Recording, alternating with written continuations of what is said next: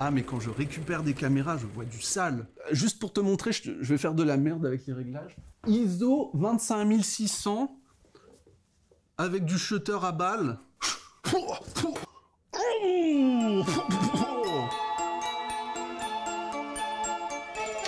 Salut, c'est Romain. Aujourd'hui, je fais le point sur les différents paramètres qui ont une influence sur l'exposition pour mieux t'aider à gérer les réglages caméra.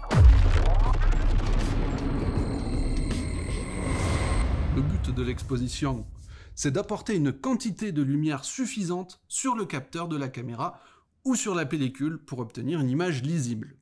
Si tu as trop peu de lumière qui arrive au capteur, tu vas avoir une image sombre. On appelle ça une image sous-exposée. Et si tu as trop de lumière qui arrive au capteur, tu vas avoir une image trop lumineuse et blanche, surexposée.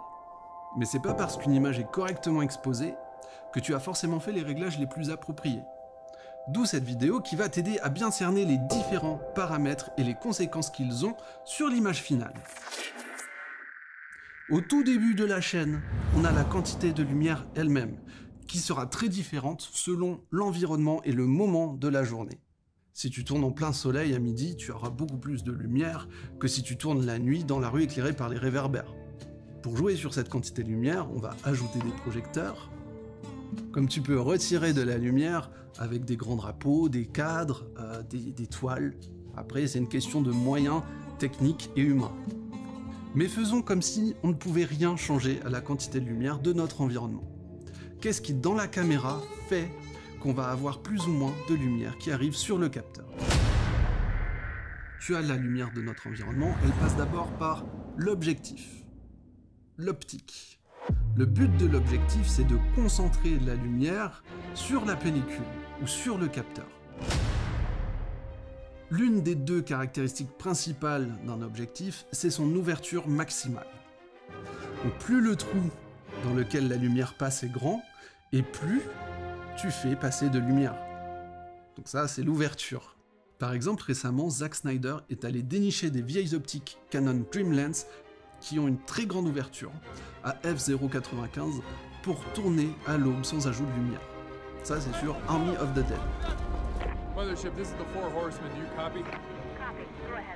Mais le champion, tu peux même pas tester, qui met une raclée à tout le monde, c'est Stanley Kubrick. Le gars, il est allé chercher dans les années 70 un objectif de la NASA pour filmer des scènes de Barry Lyndon en lumière naturelle, sans ajout, avec des bougies.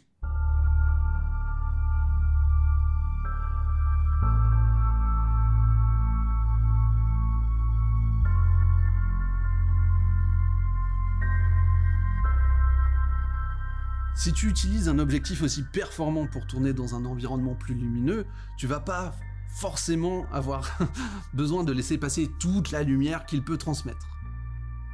Pour éviter la surexposition, tous les objectifs ont une fenêtre qui s'ouvre et qui se ferme. C'est un iris composé de lamelles qui te permet de bloquer une partie des rayons lumineux. Et tu règles cet iris en jouant sur la caméra avec l'ouverture notée F, F quelque chose, c'est le nombre de diaph. Pour le moment, je veux que tu comprennes que l'iris bloque les rayons incidents qui étaient les plus inclinés tu vas en fait agrandir la zone de netteté en avant et en arrière de la mise au point. Et à l'excès, si tu tournes dehors en plein soleil, que tu fermes ton iris à fond, tu vas avoir une image qui est très nette de l'avant-plan jusqu'à l'arrière-plan.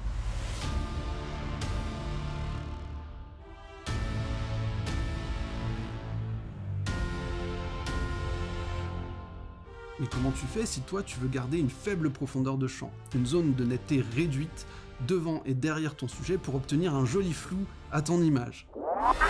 Pour ça, il va falloir ouvrir l'iris, ouvrir le diaphragme au maximum et compenser cette surexposition avec autre chose, c'est le filtre ND.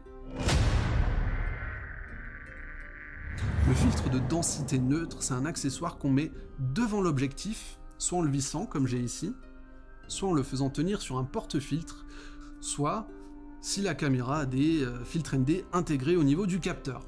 Le but du filtre ND, c'est d'absorber une partie de la lumière pour n'en transmettre qu'une portion. L'avantage du filtre ND par rapport à l'iris, c'est qu'il ne change pas l'angle d'incidence des rayons.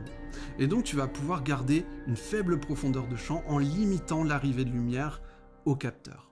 Typiquement, tu vas utiliser le filtre ND quand tu es dehors, au soleil ou même par temps nuageux, pour éviter d'avoir un diaphragme trop fermé. Comme ça, ça va te permettre de revenir vers des valeurs beaucoup plus ouvertes, d'avoir un diaph ouvert, et de garder un joli flou en avant et en arrière de ton sujet. Prochain réglage, la vitesse d'obturation. En fait, on devrait plutôt appeler ce réglage euh, la durée d'exposition, le temps nécessaire pour exposer une seule image. Et une durée, ça s'exprime en secondes ou en millisecondes. Si tu laisses passer la lumière trop longtemps dans l'objectif, peut-être que tu vas faire déborder la lumière des photocites du capteur et tu auras une image cramée. si tu fais couler l'eau dans une baignoire quatre fois plus longtemps, t'as quatre fois plus d'eau. Ah, c'est pareil. Euh, le truc en vidéo, c'est qu'on est tributaire euh, de la cadence. On a 25 images par seconde et chacune de ces images doit avoir une durée d'exposition. Une durée beaucoup plus courte bah, que la durée d'une image elle-même pour pouvoir reproduire fidèlement le mouvement. Par défaut, la durée d'obturation est deux fois plus courte que la durée d'une image. Pour 25 images par seconde, c'est-à-dire une image à 1 25e de seconde, on va avoir un temps d'obturation à 1 50e. Si tu changes de cadence, pour faire du ralenti par exemple, là tu changeras de vitesse d'obturation. Donc à 100 images par seconde, tu vas devoir mettre ton temps d'obturation à 1 200e de seconde.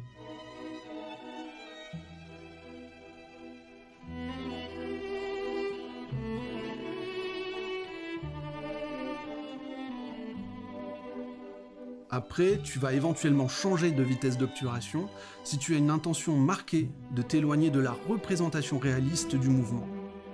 Des valeurs très courtes par rapport à la cadence vont créer un effet de saccade.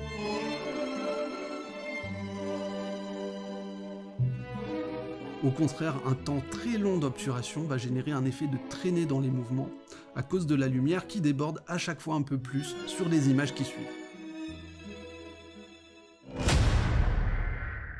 Enfin, dernier réglage sur la caméra, la sensibilité ISO ou le gain.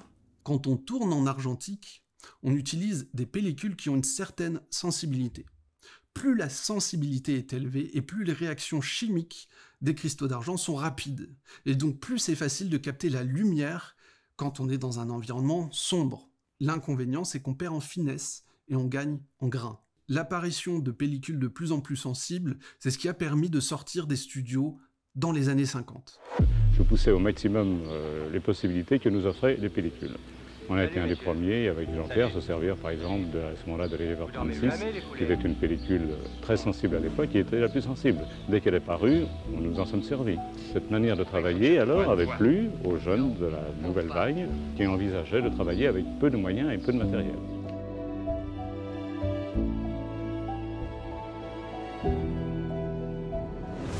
Les caméras numériques, la sensibilité, elle est liée aux performances du capteur. Le capteur, c'est la surface qui reçoit les particules de lumière pour les convertir en impulsions électriques, puis en pixels. Chaque caméra est développée pour fonctionner à partir d'une sensibilité native. Pour connaître l'ISO natif de ta caméra, il faut que tu cherches dans des spécifications techniques du constructeur ou faire des tests pour voir euh, quelle sensibilité la caméra fonctionne le mieux. Euh, le principe, c'est que quand tu changes d'ISO, et que tu sélectionnes une valeur plus haute, le capteur fait une amplification du signal. C'est pour ça que certaines caméras préfèrent le terme euh, gain à sensibilité, parce que là on parle directement d'amplification en décibels, en dB. Le problème quand on amplifie et qu'on monte vers des valeurs hautes en ISO, c'est que tu ajoutes du bruit à l'image, avec en même temps une perte de dynamique, c'est-à-dire que tu réduis l'échelle des niveaux de noir à blanc que la caméra peut représenter. Chaque capteur, chaque caméra est différente et ne réagit pas de la même manière quand tu pousses les ISO, quand tu augmentes la sensibilité.